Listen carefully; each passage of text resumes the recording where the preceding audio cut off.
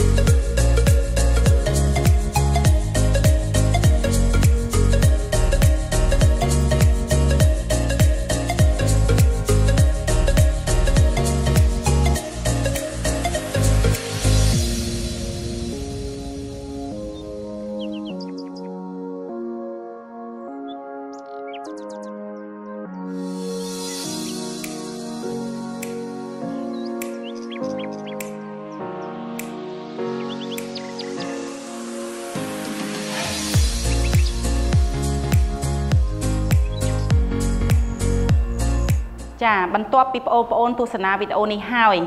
អញ្ចឹងយើងបែរមកមើលណាតើវីដេអូនេះគេនិយាយអំពីអ្វីចាអញ្ចឹងបន្ទាប់ពីបងប្អូនបានទស្សនាហើយអ្នកគ្រូមានសំណួរមួយសួរទៅបងប្អូនចាសំណួរនោះសួរថាតើក្រពេញរំលាយអាហារចែកចេញជាប៉ុន្មានចាតើក្រពេញរំលាយអាហារចែកចេញជាប៉ុនប៉ុន្មានចាអញ្ចឹងស្ដាប់ម្ដងទៀតសំណួរ តើក្រពេញរំលាយអាហារចែកចេញជាប៉ុនប៉ុន្មានចាអញ្ចឹងយើងតន់ទេណាចាអញ្ចឹងក្នុងនោះដែរអ្នកគ្រូមានចម្លើយ3ដើម្បីឲ្យបងប្អូនធ្វើការជ្រើសរើសចាថាតើចម្លើយមួយណា ដែលជាចម្លើយត្រឹមត្រូវចាអញ្ចឹងយើងមើលចម្លើយ3ទាំងនោះ មានអីខ្លះចាចម្លើយក3ចម្លើយខ7 ចម្លើយក5ចាសុំមើលចម្លើយម្ដងទៀតក3ខ7ក5ចាតន់ទេអញ្ចឹងអានចម្លើយម្ដងទៀតក3ខ7ក5ចាអញ្ចឹងយើងតន់ហើយអញ្ចឹងយើងមើលមើលថាតើចម្លើយចាទាំង3ហ្នឹងចម្លើយមួយណាដែលជាចម្លើយត្រឹមត្រូវ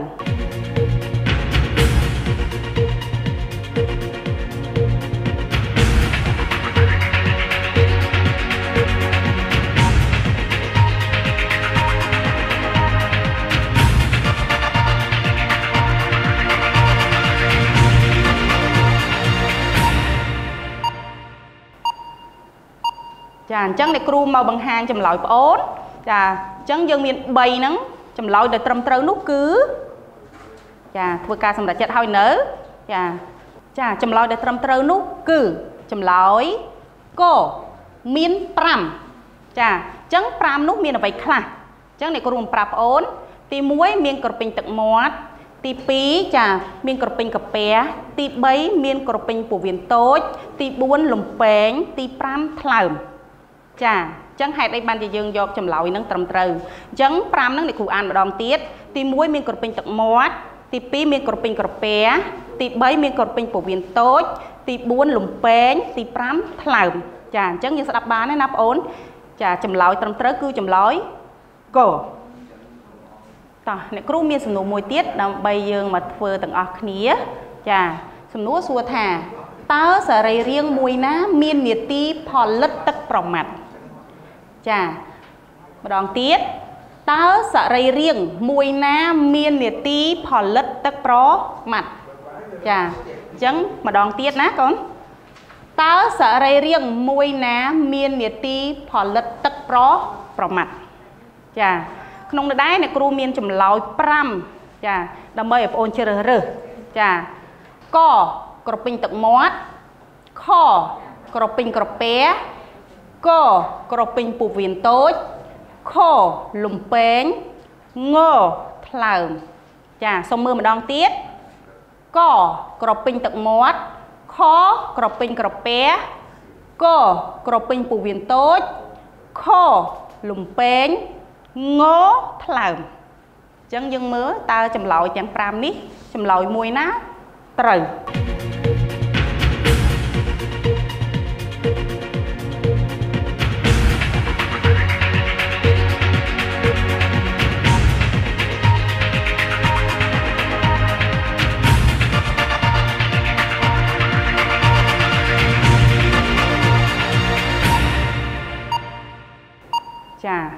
ចឹងចម្លើយដែលត្រឹមត្រូវនោះគឺចម្លើយអីដែរបងអូនចាចម្លើយដែលត្រឹមត្រូវនោះគឺចម្លើយចាគឺចម្លើយងថ្លើមចាអញ្ចឹងសារីរាង្គដែលមាននីតិផលិតទឹកប្រមាត់នោះគឺថ្លើមចាអញ្ចឹងហេតុអីបានជាចម្លើយផ្សេងទៀតមិនត្រឹមត្រូវហើយចម្លើយចាងជាចម្លើយត្រឹមត្រូវ ចឹងយើងមកស្ដាប់ការបកស្រាយទាំងអស់គ្នាចាចម្លើយកក្រពេញទឹកមាត់ចាក្រពេញទឹកមាត់មាននីតិផ្សើមនិងរំលាយអាហារចាឯចំណែកចម្លើយខគេថាក្រពេញក្រពះចាក្រពេញក្រពះវាមាននីតិបញ្ចេញរសក្រពះចាដល់ពេលចំណោចម្លើយកក្រពេញពោះវៀនតូច ចា ក្រពេញពោះវៀនតូចវាមាននីតិបញ្ចេញរសចាពោះវៀន ឯចំណែកចម្លើយខវិញលំពេងចាវាបញ្ចេញរសលំពេងចាអញ្ចឹងចម្លើយដែលត្រឹមត្រូវគឺថ្លើមថ្លើមផលិតទឹកប្រប្រមាត់ចាអញ្ចឹងបងអូនយល់ទេណា